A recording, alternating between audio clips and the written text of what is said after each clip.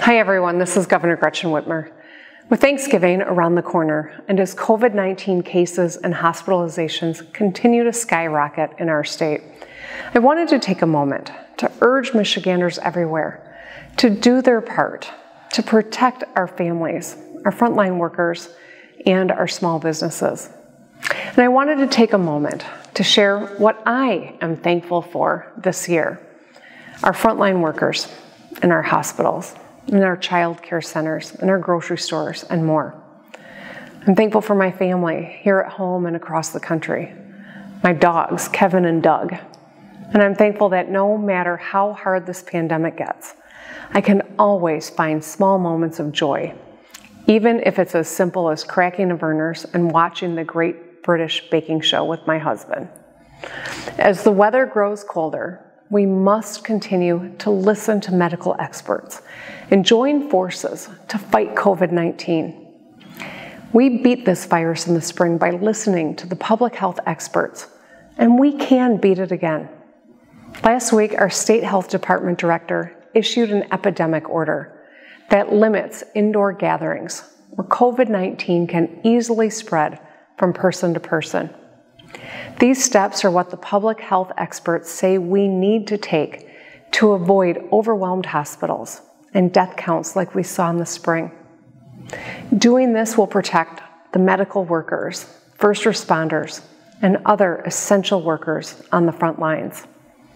We all have a personal responsibility to follow these laws and to do everything we can to protect one another. If you are planning to spend Thanksgiving with people outside of your own household, I urge you to reconsider. This year, I'm going to host a Zoom call with my family so we can still talk about the things we are thankful for, in lieu of hosting an in person dinner like I usually do. Think about your last Thanksgiving and the people with whom you spent it your parents, grandparents, brothers and sisters, your neighbors and friends, or the family you have chosen for yourself. Picture their faces, laughing with you, cheering on the Lions with you, hugging you, or even arguing with you about politics. As hard as it will be not to see them in person this Thanksgiving, imagine how much harder it would be if their chairs are empty next year. We must make short term sacrifices for our long term health. None of us wants the guilt of gathering and unwittingly spreading this virus to someone we love. As you consider your options for Thursday, I urge you to make the hard choices because they will ultimately be the right choices. I know 2020 has been tough, and we're all exhausted from fighting this virus. But we cannot let up for one second now.